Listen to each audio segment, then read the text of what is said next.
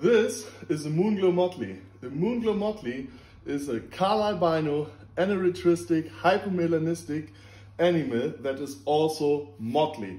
And if you like to learn more about boa morphs, make sure to follow this account.